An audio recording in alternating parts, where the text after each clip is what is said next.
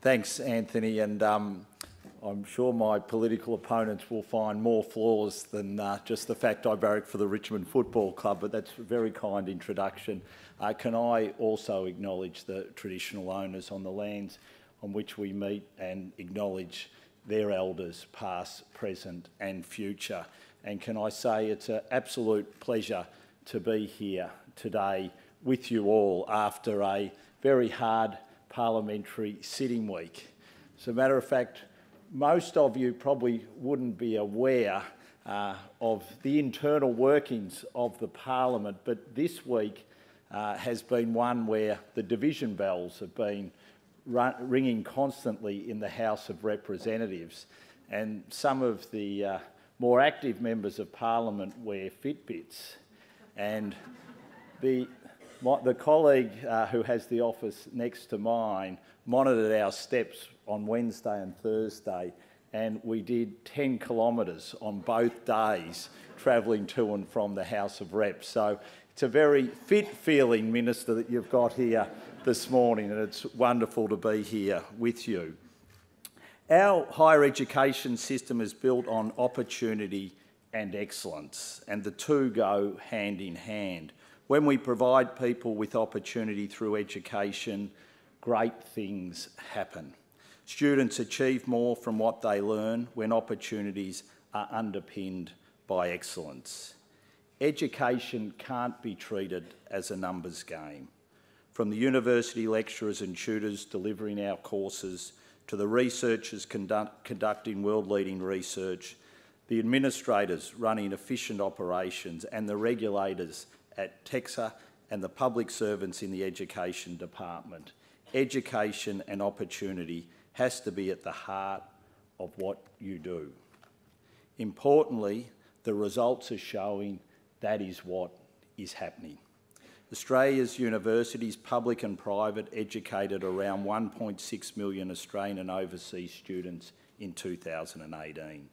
90% of undergraduates are in full-time employment three years after completing their degree, the highest level since 2013.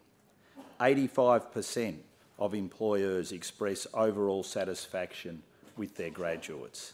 80% of domestic undergraduate students and 76% of international undergraduate students rate their higher education experience positively.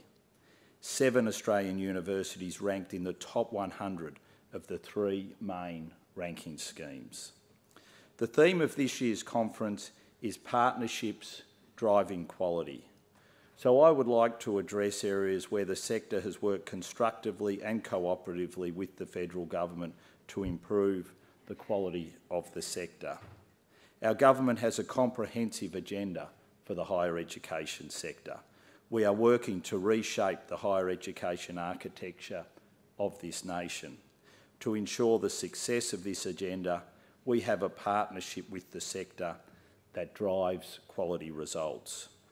I've made a commitment to the sector to work together on national policy settings.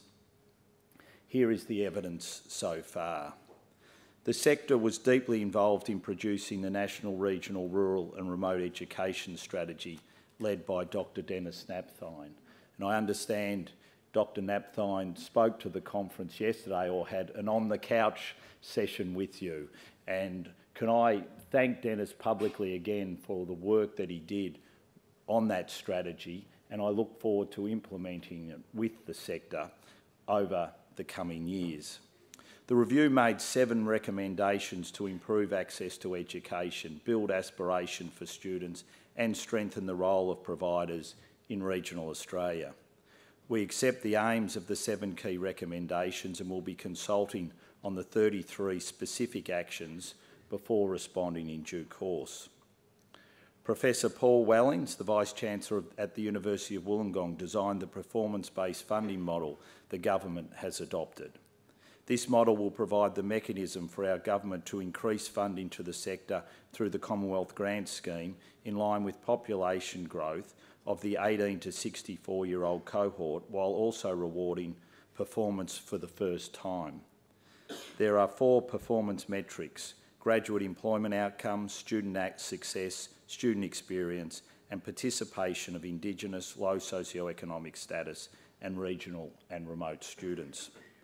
And our government has given graduate employment outcomes greatest precedence to incentivise universities to focus on the core business, producing job-ready graduates with the skills to succeed in the modern economy.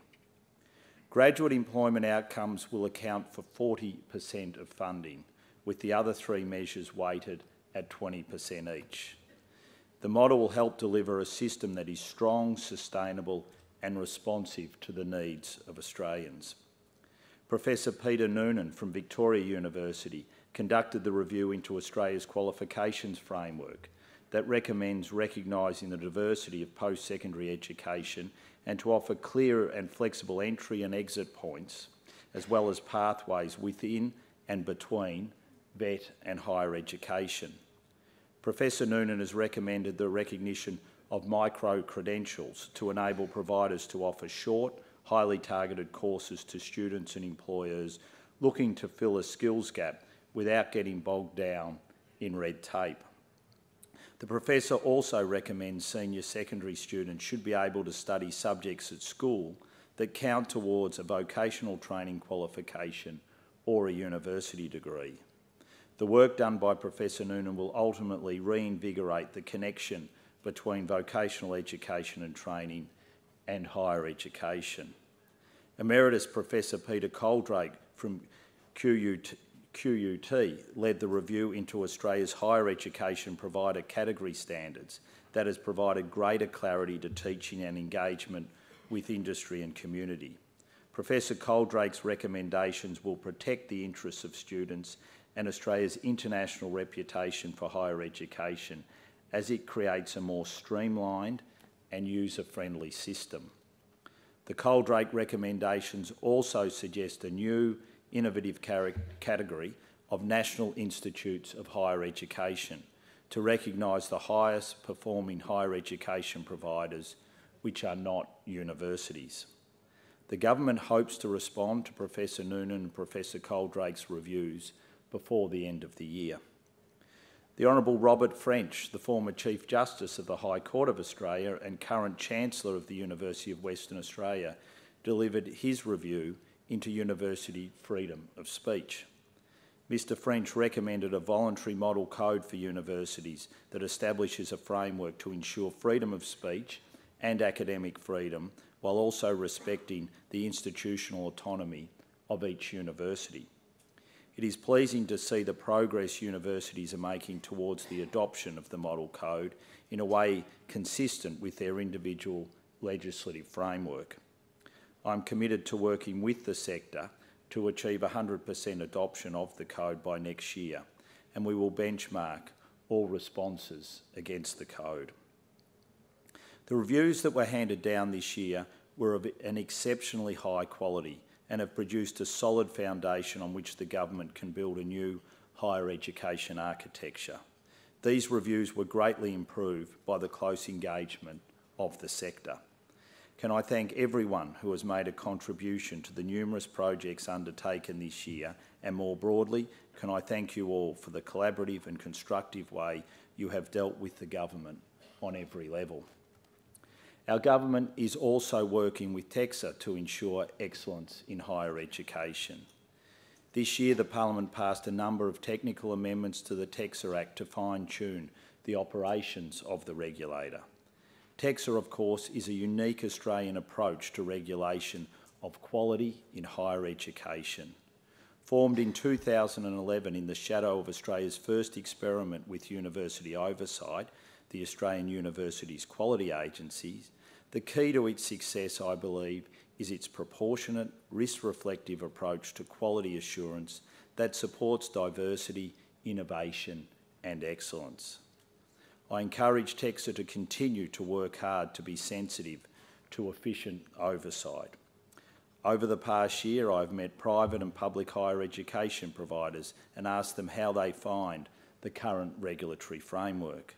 From the feedback I've received, the sector is seeking a proactive approach based on positive engagement. Professor Malcolm K. Sparrow, a leading international expert in regulatory and enforcement strategy at the John F. Kennedy School of Government, Harvard University, offers useful guiding principles for regulators. Be less intrusive but more effective. Be kinder but don't let them get away with anything. Be quicker but more careful. Deal with important issues but stay within authority. Be responsive but don't get captured. It is good, good advice, not always easy to implement, but good advice. And I look forward to continuing to work very cooperatively and collaboratively with TEQSA under Anthony's leadership. Another area where the government has worked closely with the sector this year is to address the issue of foreign interference. Foreign interference is at unprecedented levels. It is an evolving issue that affects government, business, society and universities. Our government takes allegations of foreign interference and espionage very seriously. We have taken action to equip our intelligence and security agencies to protect Australians and our institutions, including appointing the first National Counter Foreign Interference Coordinator, establishing the Foreign Influence Transparency Scheme, and establishing the Electoral Integrity Assurance Task Force. Likewise, we want universities to take responsibility for being on the front line against foreign interference of their institutions. Earlier this month, we published the guidelines to counter foreign interference in the Australian university sector. These guidelines were written in close collaboration between the sector and our national security agencies. As the guidelines make clear, Australia's universities have a strong working relationship with government agencies on security matters and have regularly sought advice to help safeguard their people, research systems and intellectual property, as well as rebuff attempts to breach security. Both universities and government know that a robust and trusted sector is one in which risks are managed and benefits realised. The guidelines on foreign interference were truly a partnership between government and the sector. Five members from higher education were on the task force that developed the guidelines, and 36 universities contributed to the working groups that informed the final guidelines. I would also like to acknowledge the Vice-Chancellor of RMIT, Martin Bean, who was an instrumental leader of the sector in this process. Central to the guidelines are five key themes for action, governance and risk frameworks, due diligence, communication and education, knowledge sharing and cyber security. Universities and our national security agencies will reconvene in six months to review the implementation of the guidelines. This process will be ongoing and require constant adjustment from the sector as new challenges arise and approaches developed. Our government and the sector are also working together to grow international education in a sustainable way. International education con contributed $37.6 billion to the Australian economy last financial year, representing growth of 15% year on year. The sector supports 240,000 jobs, business opportunities and economic growth. It is an Australian success story which we should be incredibly proud of.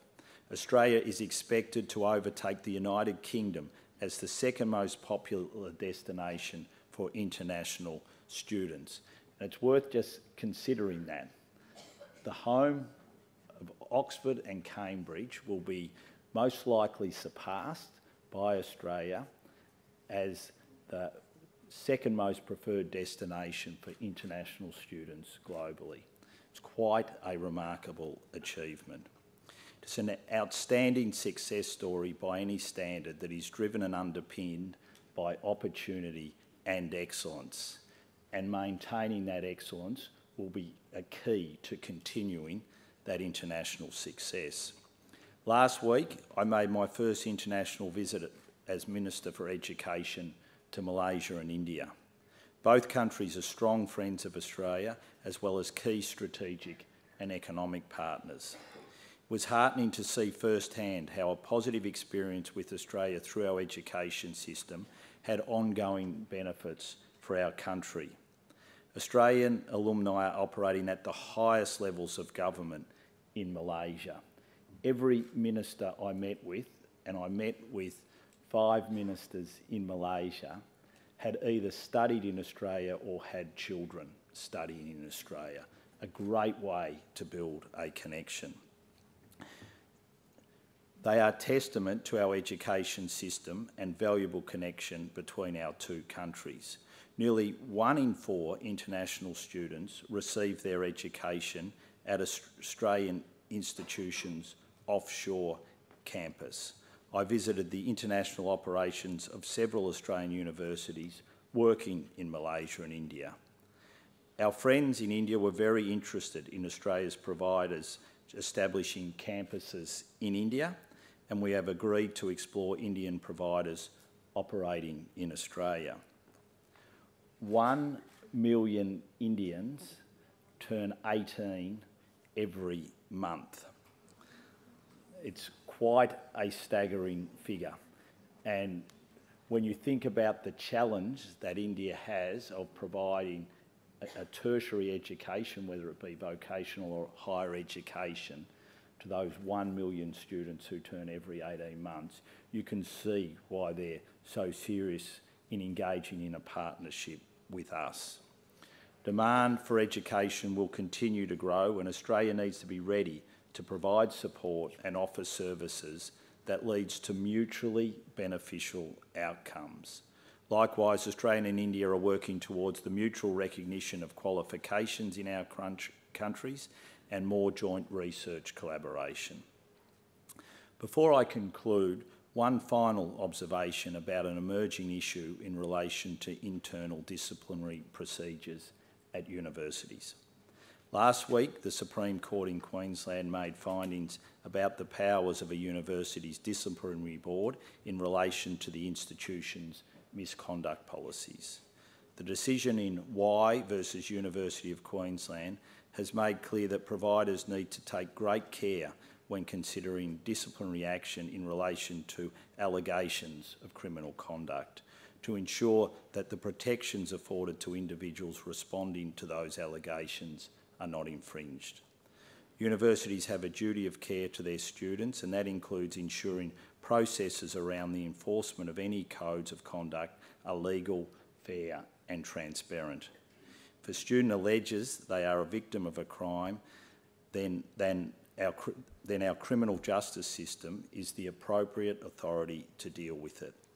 These are complex matters and there is substantial legislation, case law and legal precedent available to anyone accused of a crime.